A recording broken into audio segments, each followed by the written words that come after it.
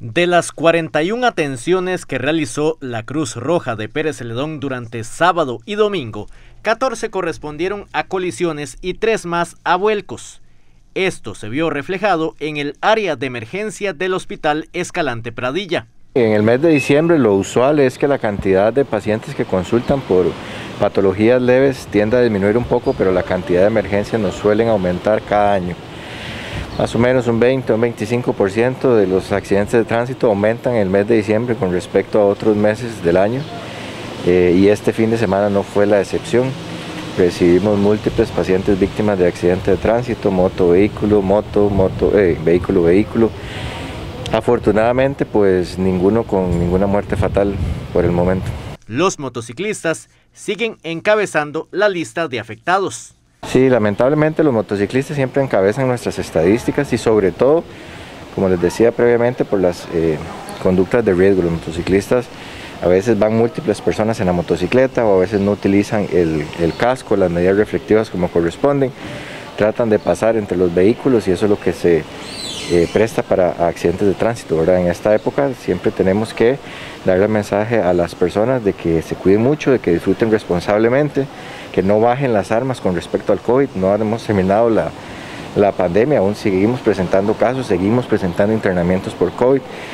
Y en cuanto a los accidentes de tránsito, que utilicen las medidas de, protección eh, pertinentes, si son motociclistas, el chaleco reflectivo, por ahí siempre utilizar casco, que es muy importante, y si son los vehículos, siempre el cinturón de seguridad y no manejar bajo efectos de licor.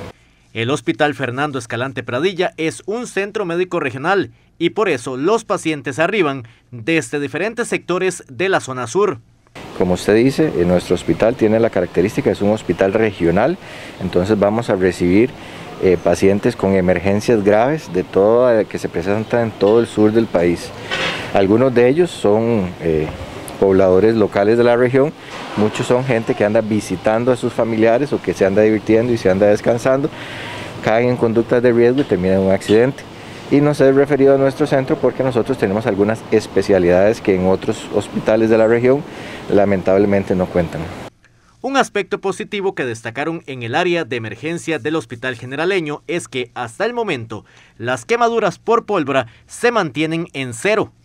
Hasta el día de hoy, por el momento, no hemos tenido accidentes por quemaduras. Sí es usual que a partir de la segunda quincena de diciembre, ya cuando empiezan a haber más actividades, más reuniones, más celebraciones, los adultos utilicen pólvora y a veces dejan descuidado a sus niños y por ahí es donde ocurren accidentes. Al día de hoy no hemos tenido ninguno. En Pérez Celedón durante el fin de semana se reportó una persona fallecida en accidente de tránsito.